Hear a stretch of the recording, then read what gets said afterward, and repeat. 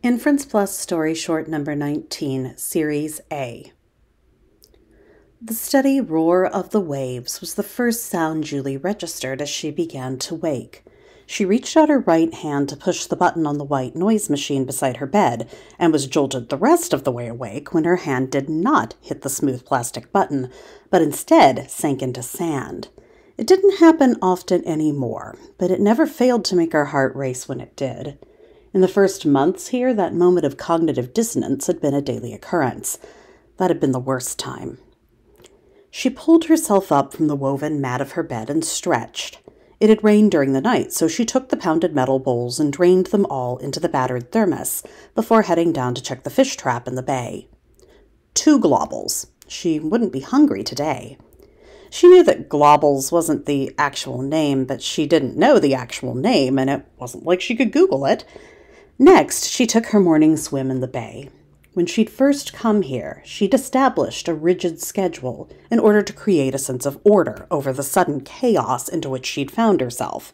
Eleven years later, she still stuck to the routine, but it had taken on a much more natural rhythm. It had taken time for Julie to realize how lucky she was. She hadn't felt lucky in those early days, one lonely woman floating for weeks in an escape raft too sunbaked and thirsty to ponder her future.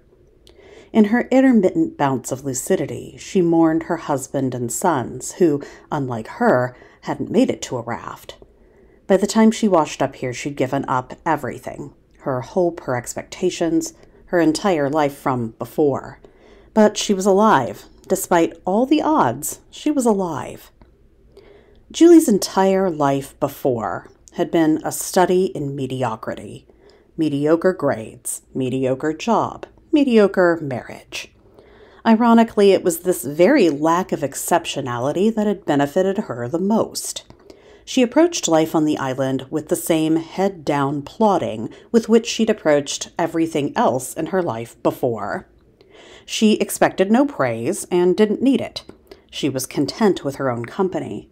In many ways, Julie had grown to love her life here, the way that it allowed her to be free to live her life without the burden of anyone else's expectations. She wasn't the first to land on this island. The rusted out fuselage of an old twin engine plane was evidence of that.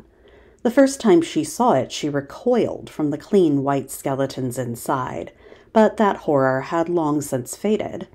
The plane contained treasures beyond rubies, a toolkit, metal from the plane's body, and, most importantly, a trunk full of books. Classic books. All the books she'd been assigned to read in school but hadn't, instead relying on cheat books.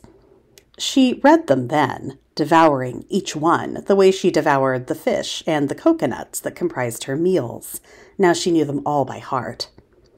In the early days, she had lit a signal fire and diligently fed it day and night.